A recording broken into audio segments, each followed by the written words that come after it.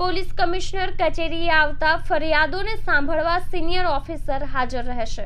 સુરત શહેરના police commissioner Ajay Kumar Tomar દ્વારા લોકોની સમસ્યાઓને સમજવા અનેક પ્રયાસ કરવામાં આવી રહ્યા છે.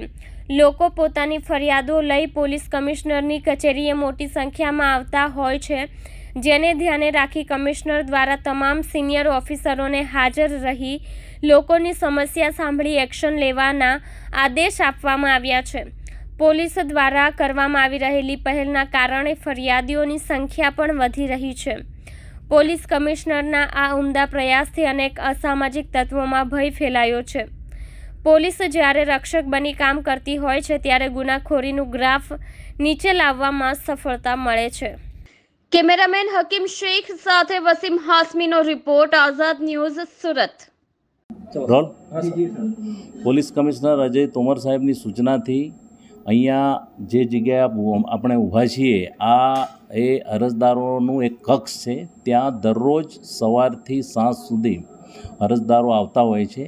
પોલીસ કમિશનર સુરતનાઓ તરફથી એવી સૂચના કરેલી છે કે દરેક સિનિયર અધિકારી એ સેક્ટર, ડીસીપી આ લોકોને સાંભળે અને એના જે પણ રજૂઆત છે એ અનુસંધાને એના નિકાલ કરે.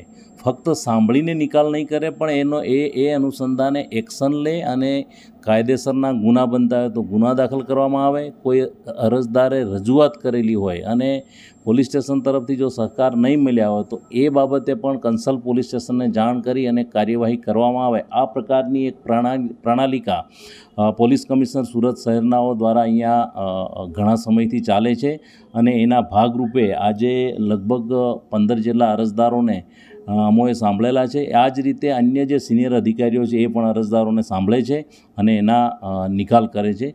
લોકો આ જે અરજદારોને સાંભળવામાં આવે છે એના અનુસંધાને અહીંયા જે પહેલાં અરજદાર આવતા તેનાથી સંખ્યા વધતી જાય છે કારણ કે અહીંયા પોલીસ તરફથી રિસ્પોન્સ મળી રહ્યા છે અને એના કારણે આ એક ટુ વે એક્શન છે. સાંભળવામાં પણ આવે છે અને સાથે સાથે એના નિકાલ પણ થાય છે.